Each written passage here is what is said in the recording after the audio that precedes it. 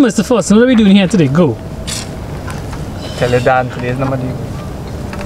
Don't use up all my energy already. Come now, man. You Come add on. some music to the song.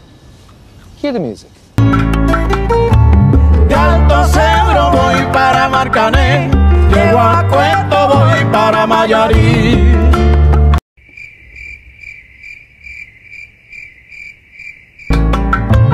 De Alto Cedro voy para Marcané, llego a Cueto voy para Mayarí.